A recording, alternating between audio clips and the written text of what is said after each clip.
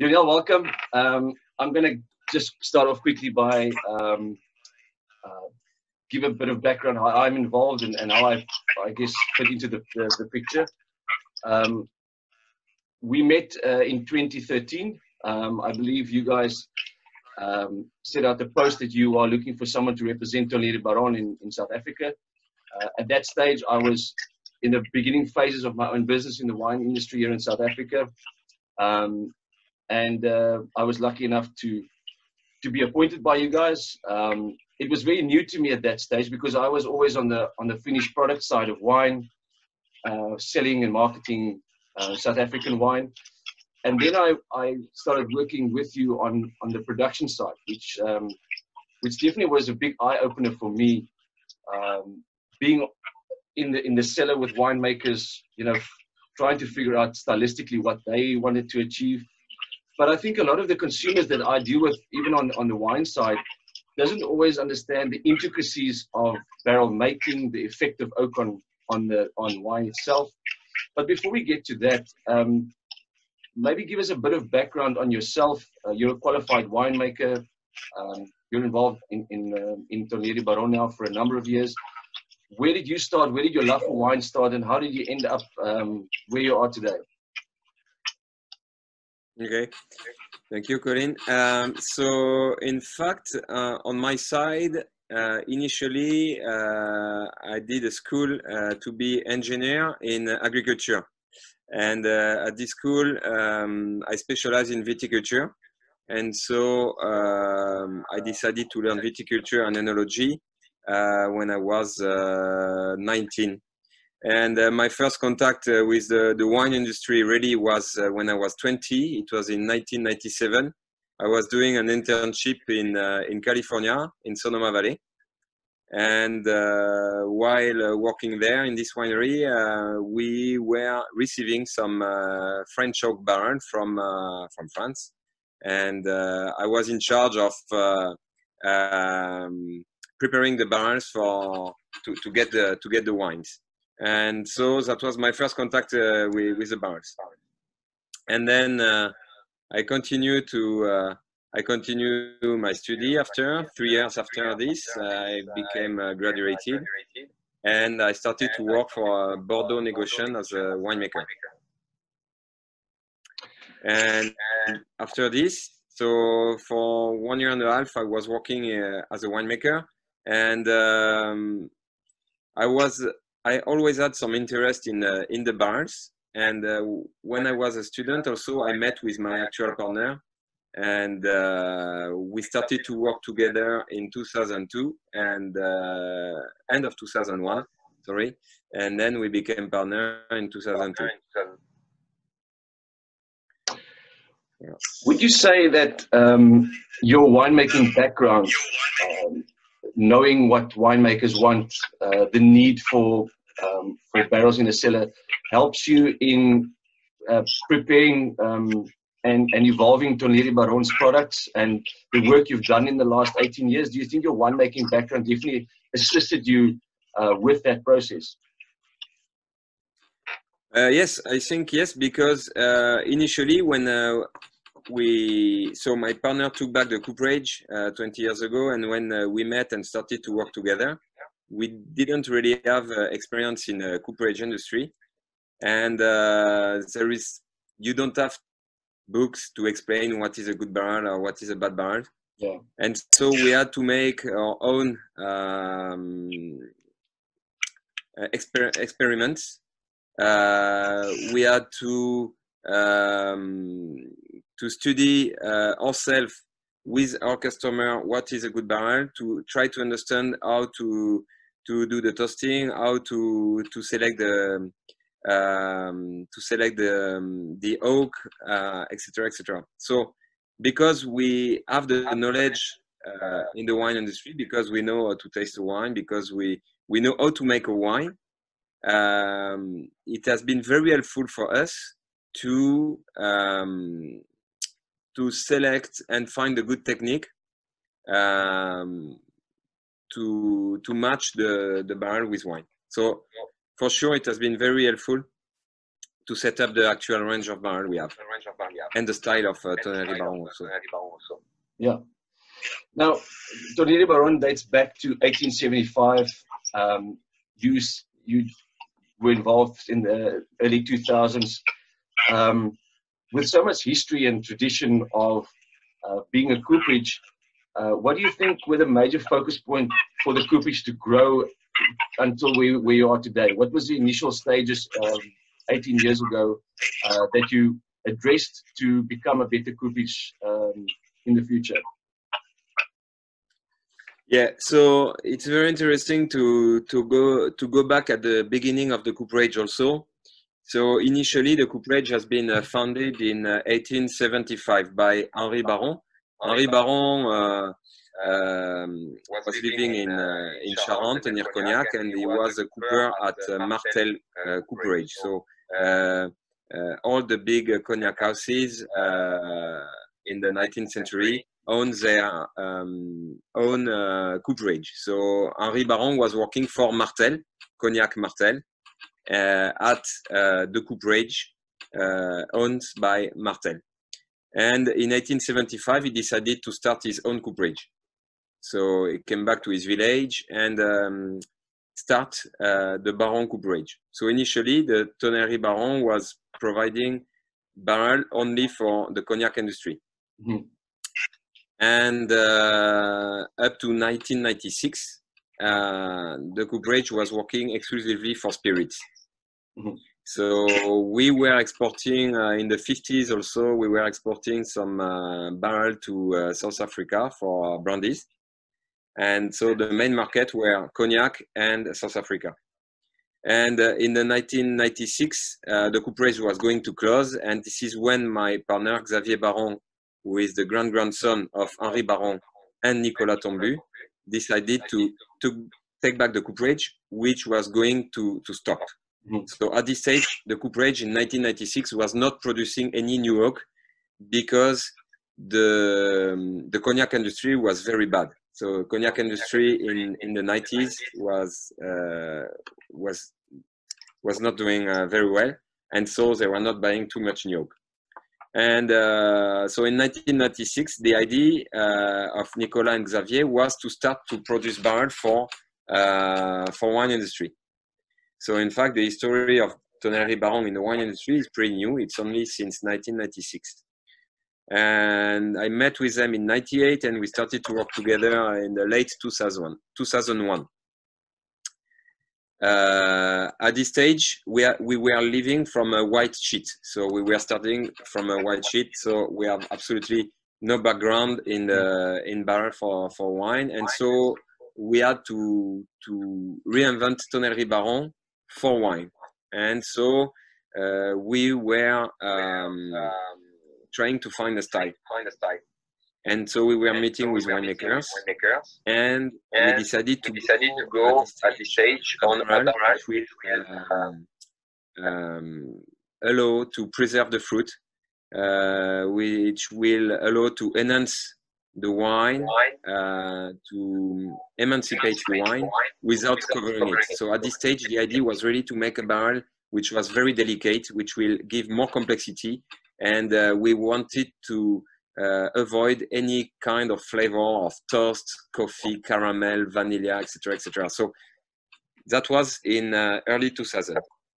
And as you know, early 2000, uh, the style, the style in general, in general, people were looking for were looking was, for was vanilla, toast, vanilla, and, toast and oak. So we were not really, in the in the fashion, but I think that uh, that was a good uh, a good move because right now, uh, since six, seven years, what we see is that people are looking for, looking for uh, uh, preservation, preservation, complexity, complexity sweetness, density, density volume, volume length, but they, they, they, want to avoid this, uh, flavor. So we're going to get to the, um, I guess, the attributes that I've experienced, and obviously you know so well from Baron as, as, a, as a barrel supplier. Um, but as I said earlier, my background is always selling wine as a brand.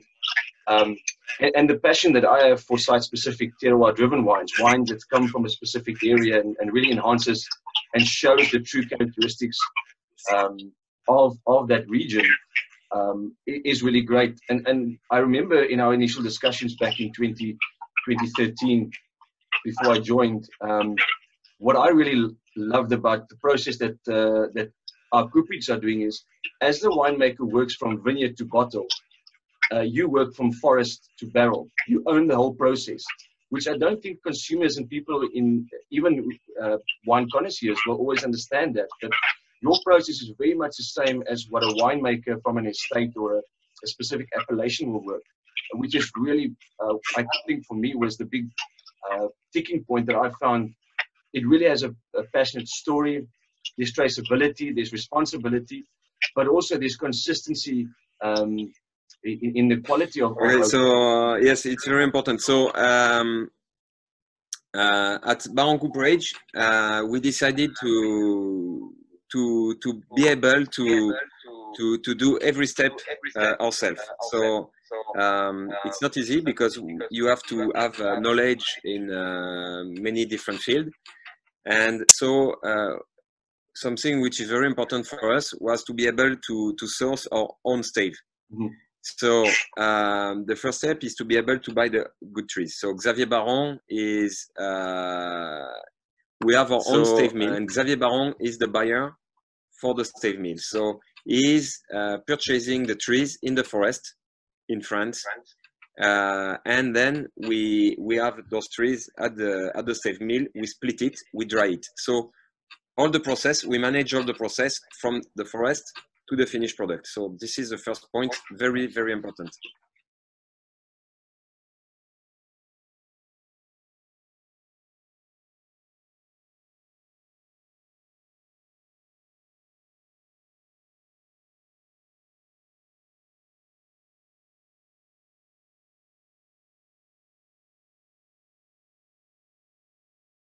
So we have the, the same, um, the two companies, the Stave Mill and uh, the Cooperage are on the same place also.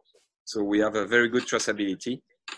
Once the logs arrive at the Cooperage, uh, it never uh, move from this place before it becomes a barrel. So yeah. for us, it's very important.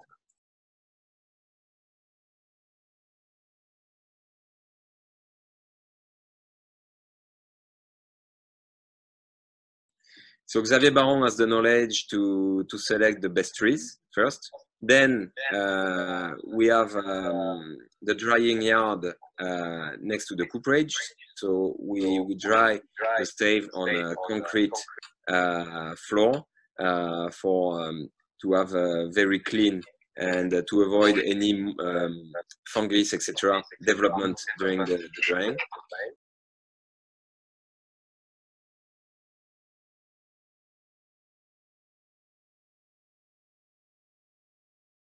We also collect all the water from the dryer, uh, which is uh, very very important to to save uh, water.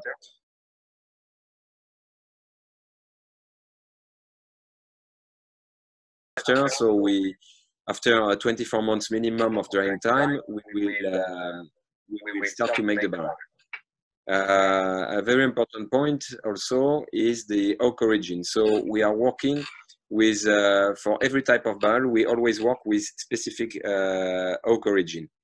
And uh, we also do a selection depending of the grain. So mm-hmm. we have uh, uh, the oak origin which is important. We have the grain also. So we have some barrel which are extra tight grain others tight grain.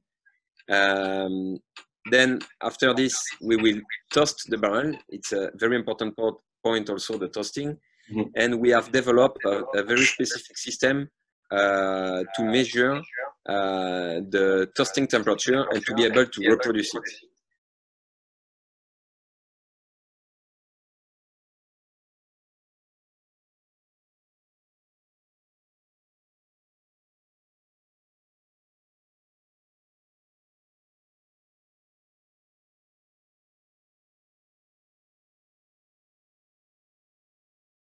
So during toasting, we have a laser which is measuring uh, the temperature of the wood during all the toasting process.